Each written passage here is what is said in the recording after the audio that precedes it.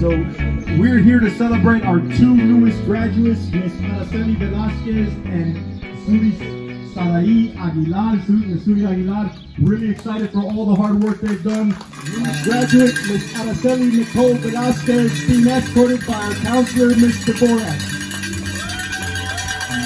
Our next graduate, Miss Zuri Sarai Aguilar, escorted by Mr. Albright, mentor teacher. Well, Zuri, congratulations. You finally made it, so that's super exciting. But what I wrote is that you came to the school with a plan, and it's amazing to see that you've accomplished it. A chapter in your life is starting to close, but I hope you keep your head held high as you start off on the next page in your book of life. Uh, keep growing. Invest in yourself and your passions. Pursue those passions. Don't give up on yourself or the things that you love. And lastly, take time to enjoy the little moments like this one. Congrats. Ms. Bowles, uh, Ms. Bowles couldn't be here, but her whole heart is here with you, Araceli. I know y'all have cried together throughout this whole process, so I'm going to go ahead and let Mr. Borak read through Ms. Bowles' statement for y'all.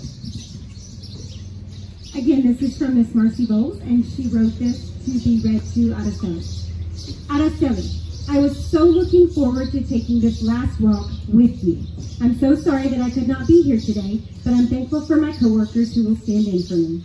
That short walk is not the last walk for you.